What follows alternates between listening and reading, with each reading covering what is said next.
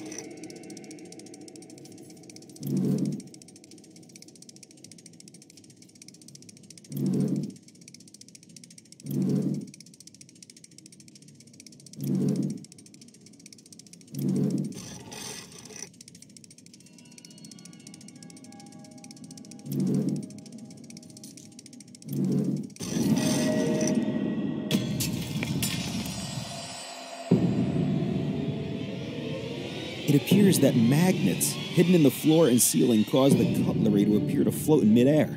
Only a skilled mechanic could have installed these.